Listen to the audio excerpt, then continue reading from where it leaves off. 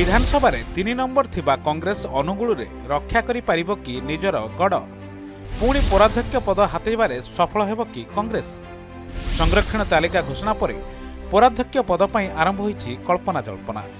ଇତିହାସ କହୁଛି ଦୀର୍ଘ ବର୍ଷ ଧରି ଅନୁଗୁଳ ପୌରପାଳିକା କଂଗ୍ରେସ ଦଖଲରେ ରହିଆସିଛି।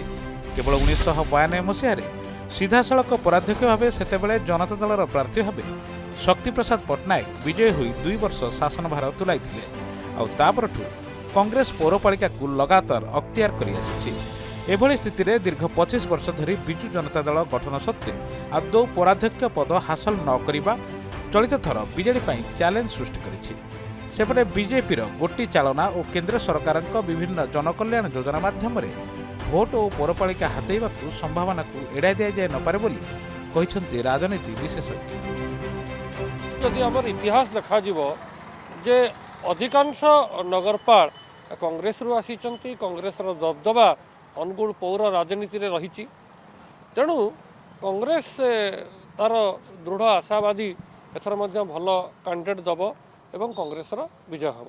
ଅନ୍ୟ ପକ୍ଷରେ ବିଜେଡ଼ି ଯଦି ଦେଖାଯାଏ ବିଜେଡ଼ିରେ ସେଭଳି ପ୍ରାର୍ଥୀର ସଙ୍କଟ ରହିଛି ସେଭଳି ଆଖିଦୃଶିଆ ପ୍ରାର୍ଥୀ ମାନେ ନାହାନ୍ତି। ମୋଦିଙ୍କର ଯେଉଁ ଭାବମୂର୍ତ୍ତି ରହିଛି ମୋଦିଙ୍କର ମୋଦିଙ୍କର ଯେଉଁ ଦକ୍ଷ ପରିଚାଳନା ଅତ ଦକ୍ଷତା ରହିଛି ତାଙ୍କ ଉପରେ ଭରସା କରିକିରି ଏବଂ ବିଭିନ୍ନ ସମୟରେ ଯେଉଁ ସହାୟତା ସବୁ ମୋଦି ଦେଉଛନ୍ତି ତାକୁ ଭରସା କରିକିରି ବିଜେପି ନିଶ୍ଚିତ ଭାବରେ ବାଜିମାତ କରିବ ବୋଲି ମଧ୍ୟ ଆଶା ରଖିଛି। ଅନୁଗୁଳ ରାଜ୍ୟର କେନ୍ଦ୍ରସ୍ଥଳ ହୋଇଥିବା ଏହି ଜିଲ୍ଲାର ସଦର ମହକୁମା ବିଭିନ୍ନ ଦୃଷ୍ଟିକୋଣରୁ ବେଶ୍ ଗୁରୁତ୍ୱ ବହନ କରେ। ଶିଳ୍ପ ନଗରୀ ଭାବେ ଜଣାଶୁଣା ଏହି ସହରର ଏବେ ଲୋକସଂଖ୍ୟା ସେହି ଅନୁପାତରେ ବଢ଼ିଛି। ତେଣୁ ଲୋକଙ୍କ ଆବଶ୍ୟକତା ମଧ୍ୟ ବଢ଼ିଛି। ପୌରାଞ୍ଚଳରେ ରହିଛି ଏବେ ମୋଟ ତେଇଶଟି ୱାର୍ଡ। ଆଉ ବେସରକାରୀ ରିପୋର୍ଟ ଅନୁସାରେ ସହରର ଲୋକସଂଖ୍ୟା ପ୍ରାୟତଃ ଷାଠିଏ ହଜାରରୁ ଅଧିକ।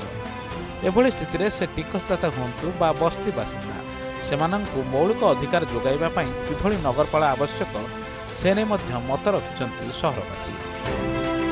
ଏ ଅଳିଆ ଗଦା ବା ଯାହା ବି ଆମର ସବୁ ଅ, ମୌଳିକ ସମସ୍ୟା ଯାହା ବି ଯେତେ ସବୁ ଅଛି କେହି ଜଣେ ଗୋଟେ ପୌରପାଳ ଅଧ୍ୟକ୍ଷ କେବଳ ଦୂର କରିପାରିବ ସେଇଟା ନାହିଁ କିନ୍ତୁ ଯେମିତି ଆଗ ସାମୂହିକ ରୂପେ କାମ ହେଉଥିଲା ପୌରପାଳିକାର ସମସ୍ତ କର୍ମଚାରୀ ଠିକ୍ସେ ସୁଚାରୁ ରୂପେ ସବୁ ନିଜ ନିଜର ଦାୟିତ୍ୱ ତୁଲାଉଥିଲେ।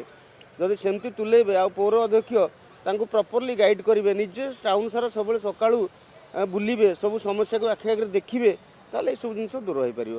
ତେଣୁ ଦଳ କେଉଁ ଦଳର ଗୋଟେ ନଗରପାଳ ହେଲେ ଆମ ସମସ୍ୟା ଦୂର ହେବ ସେମିତି କିଛି କଥା ନାହିଁ। ସେ ଲୋକଟି ନିହାତି ଅନୁଗୁଳକୁ ଭଲ ପାଉଥିବା ଦରକାର। ଅନୁଗୁଳ ସମସ୍ୟାକୁ ହୃଦବୋଧ କରୁଥିବା ଦରକାର ଏବଂ ତାକୁ ଦୂର କରିବି ବୋଲି ସବୁବେଳେ ନିଜ ମନରେ ଚିନ୍ତା କରୁଥିବା ଦରକାର। ଗଣତନ୍ତ୍ରରେ ଜନତା ଜନାର୍ଦ୍ଦନ ହେଉଛନ୍ତି ସର୍ବେସର୍ବା ଏଭଳି ସ୍ଥିତିରେ ତିନି ପ୍ରମୁଖ ଦଳରୁ କେଉଁ ଦଳର ପ୍ରାର୍ଥୀଙ୍କୁ ଲୋକେ ପସନ୍ଦ କରିବେ ତାହା ସମୟ କହିବ। ଅନୁଗୁଳରୁ ତପନ ଦାସଙ୍କ ରିପୋର୍ଟ ଅର୍ଗସ୍ ନ୍ୟୁଜ୍।